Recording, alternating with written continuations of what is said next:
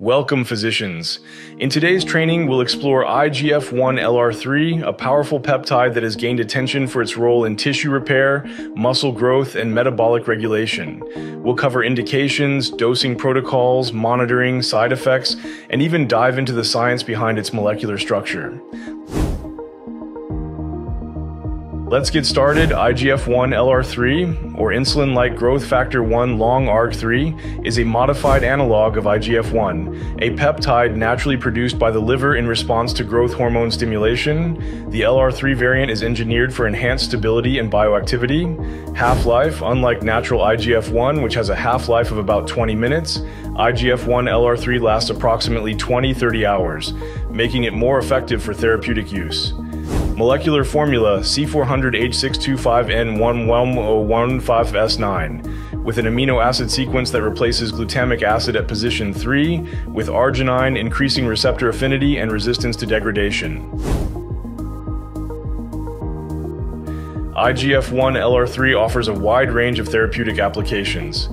Primary indications, recovery from musculoskeletal injuries, tendons, ligaments, and muscle tears, muscle wasting disorders such as those associated with chronic illness, enhancing recovery in athletes after intense physical activity, metabolic syndrome management including improving insulin sensitivity, off-label applications, anti-aging protocols to preserve lean muscle mass and enhance skin health, supporting bone regeneration in osteoporosis, IGF-1 LR3 acts by binding to IGF-1 receptors on target cells, stimulating anabolic processes such as protein synthesis, enhancing muscle growth and repair, cell proliferation, supporting tissue regeneration in injuries, glucose metabolism, increasing glucose uptake in muscle cells, improving insulin sensitivity. Studies, such as those published in the Journal of Endocrinology, highlight IGF-1's critical role in accelerating recovery and enhancing tissue growth. Dosing must be carefully tailored to each patient's needs and clinical response. Starting dosage, subcutaneous or intramuscular injection, 20 to 40 micrograms per day, administered once daily for 4 to 6 weeks to assess tolerance and initial response.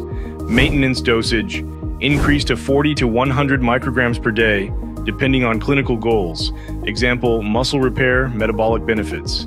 Treatment cycles typically last 6 to 12 weeks, followed by a 4-week washout period to prevent receptor downregulation.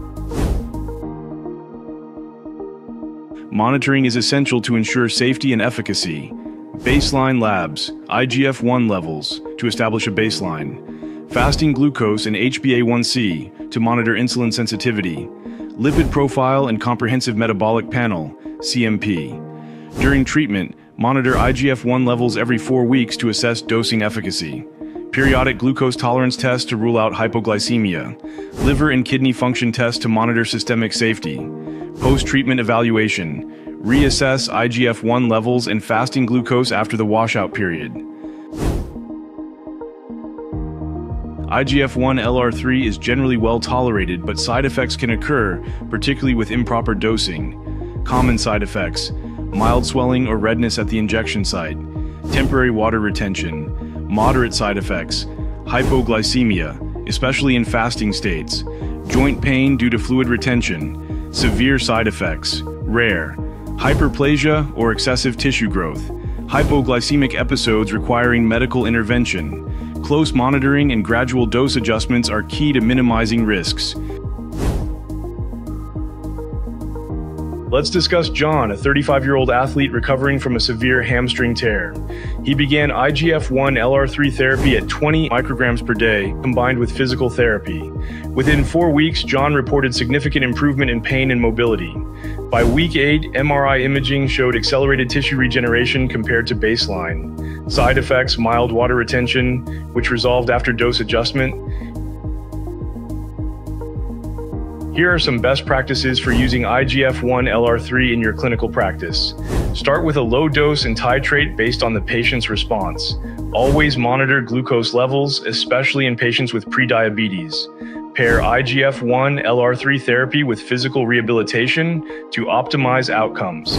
Educate patients about the importance of adhering to the dosing schedule and monitoring side effects. The efficacy of IGF-1 LR3 is supported by robust research. A study in the Journal of Endocrinology demonstrated its role in enhancing tissue repair and reducing recovery time. Another trial in muscle and nerve found that IGF-1 therapy improved muscle strength and reduced atrophy in patients with muscle wasting disorders. IGF-1 LR3 is a powerful peptide with transformative potential in regenerative medicine, metabolic health, and recovery. By integrating it into your practice, you can offer patients a cutting-edge option for optimizing health and healing. Thank you for joining this training. Let's continue advancing patient care with peptide therapies.